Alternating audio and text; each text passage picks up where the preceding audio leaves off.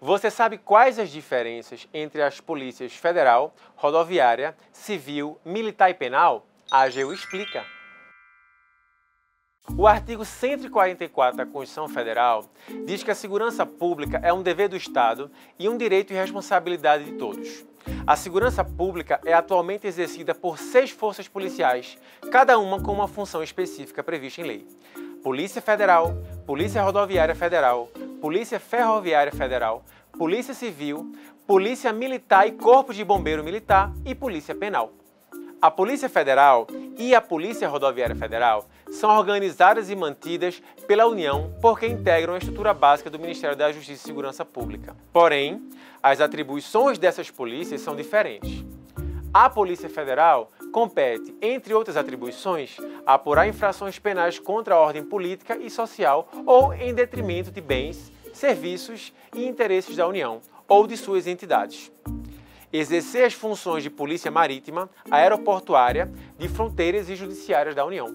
Já a Polícia Rodoviária Federal cabe o patrulhamento das rodovias federais.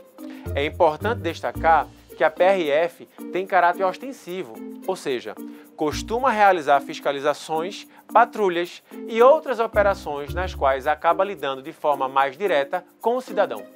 As polícias civis são subordinadas aos governadores dos estados e a elas competem as funções de polícia judiciária e de apuração de infrações penais, à exceção das militares.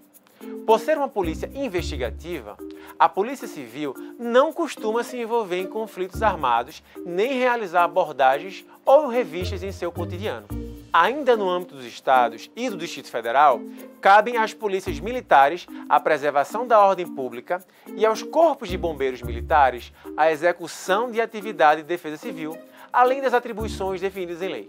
Por fim, as polícias penais, instituídas pela Emenda Constitucional 104 de 2019, vinculam-se ao órgão administrador do sistema penal da unidade federativa a que pertencem, isto é, da União, dos estados ou do Distrito Federal.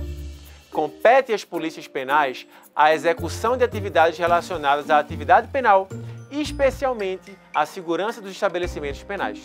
Embora as polícias se organizem e atuem de forma distinta, é a união de todas essas atividades que permitem ao Estado garantir a segurança pública no nosso país. Quer saber mais sobre a AGU e o mundo jurídico? Hashtag AGU Explica. Até a próxima!